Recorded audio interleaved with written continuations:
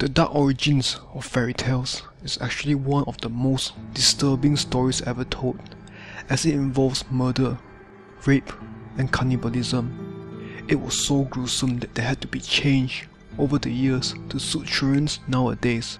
So, here are the top 10 most disturbing fairy tales ever told.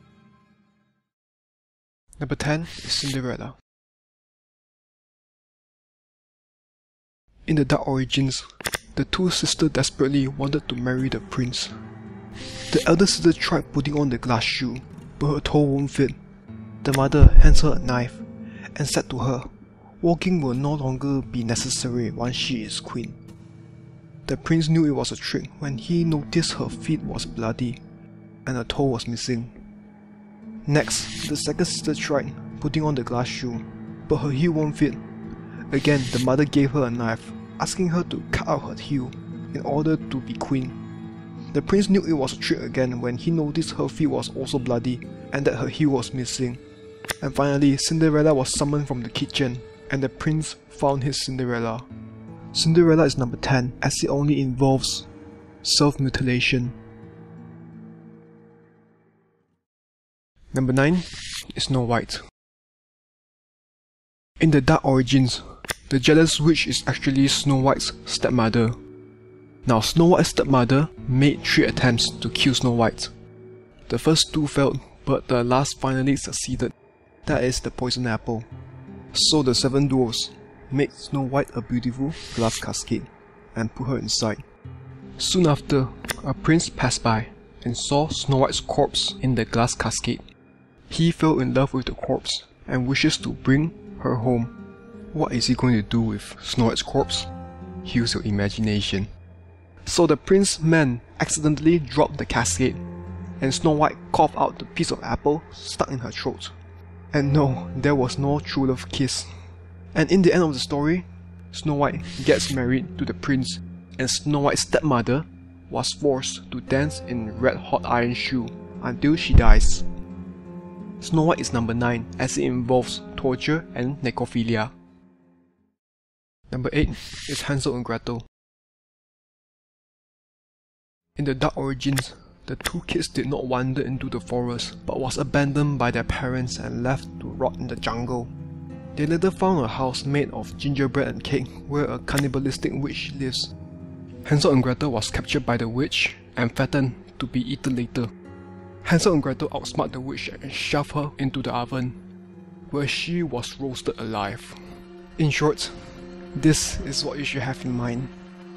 A story on how parents abandon their children, cannibalism, and children killing for survival. Is the reason why Hansel and Gretel is number 8. Number 7 is The Little Mermaid. The story goes that a beautiful mermaid saved a prince from a shipwreck, but the prince mistaken another woman as his savior now the mermaid wants to meet the prince again, so she visited a witch, hoping that the witch can give her a pair of human legs. The witch agreed, but as payment, the mermaid has to give the witch her tongue. Plus, there was another catch. If she fails to win the prince's affection, she will be turned into a form of bubbles. The little mermaid tried to win the prince's affection, but he fell in love with the woman who he fought save him from the shipwreck. The little mermaid's sister visited the witch, trying to save her, and the witch gave the sisters a knife, which the little mermaid must kill the prince with to be turned back into a mermaid.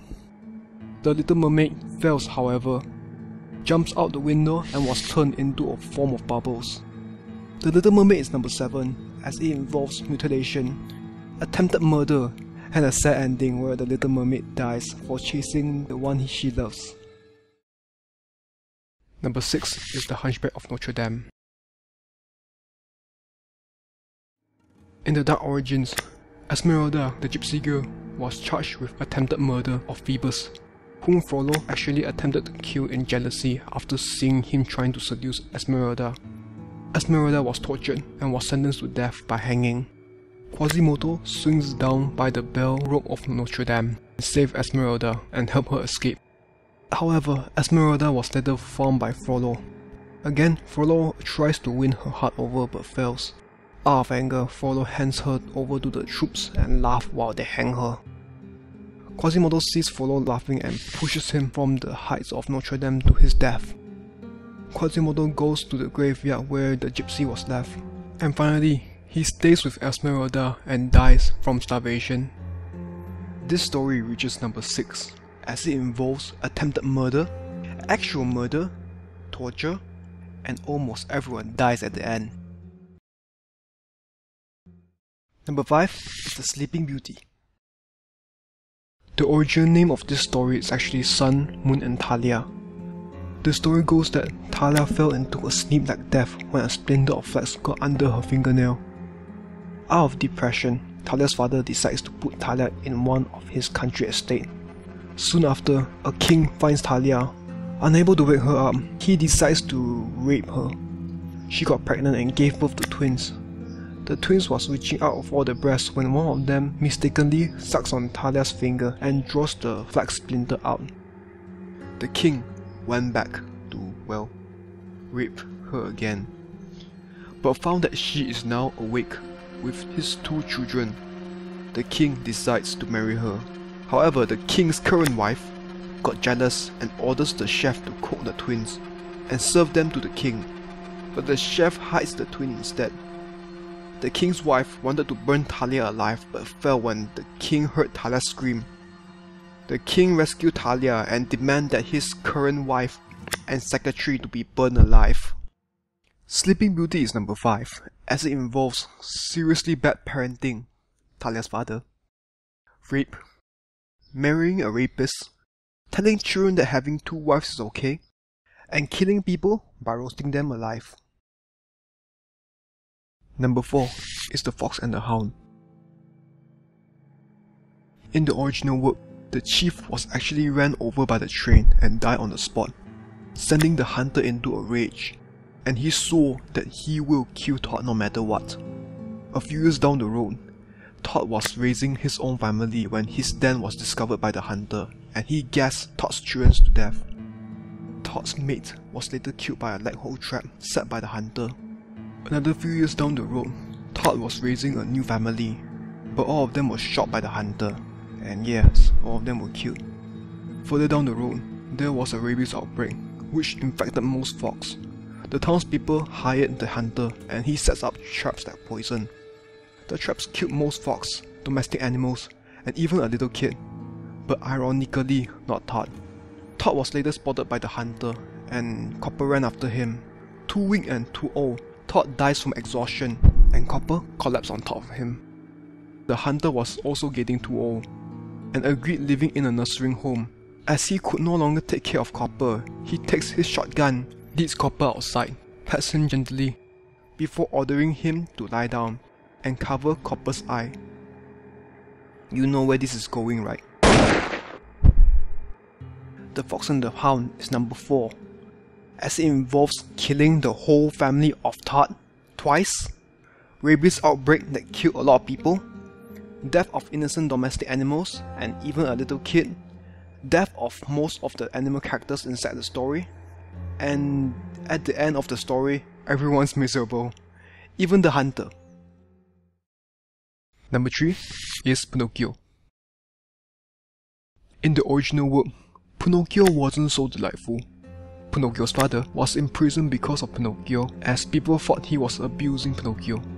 At home, Pinocchio was visited by a talking cricket and Pinocchio responded by smashing the cricket with a mallet.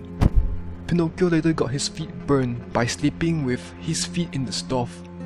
Don't ask me how that happened. Later, a cat and fox approached Pinocchio to rob him. The cat grabbed hold onto Pinocchio and Pinocchio responded by biting his paw clean off.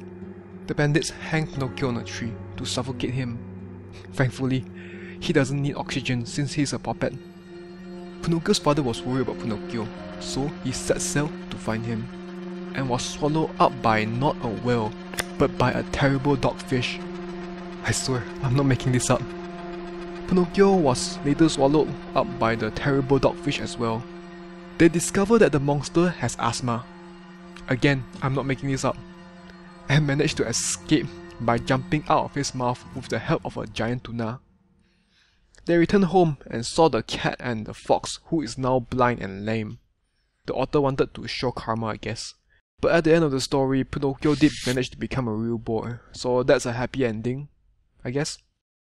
Causing your own father to be in prison, running away from home, killing someone who wants to help, burning your own feet off, biting a paw clean off are the reasons why Pinocchio is number 3. Number 2 is Red Riding Hood. The original Red Riding Hood is one of the most dark stories that I ever heard. So in the origins, the wolf did not hide the grandmother but ate her. The wolf then cooks the leftover and saves some of her blood to be served to Red Riding Hood later. When Red Riding Hood reaches her grandmother's house, she obliviously ate her own grandmother and drank her blood. Furthermore, the word whore was used to describe Red Riding Hood by a talking cat. The still oblivious Red Riding Hood later strips down and got in bed with the wolf and was eaten whole by the wolf. And the woodsman who was supposed to save them? Yeah, he did not exist back then. In short, this is the ending. Red Riding Hood is number 2 because it involves people being eaten alive. The teaching of the usage of the word whore to describe a person, the bad guys win, and most importantly, a child cannibalizing her own grandmother.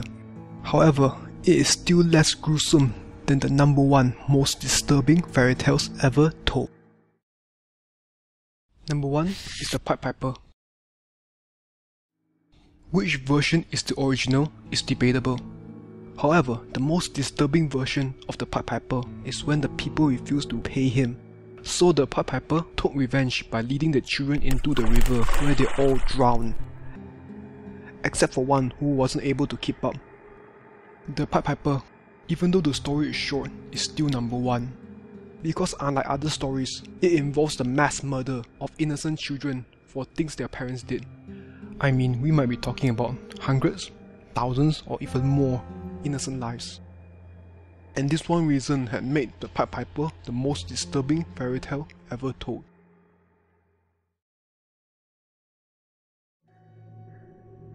It's hard to imagine that the stories we tell children today used to contain murder, rape, cannibalism, and necrophilia. I guess the world is full of disturbing facts. This is JTX, saying stay safe and thanks for watching.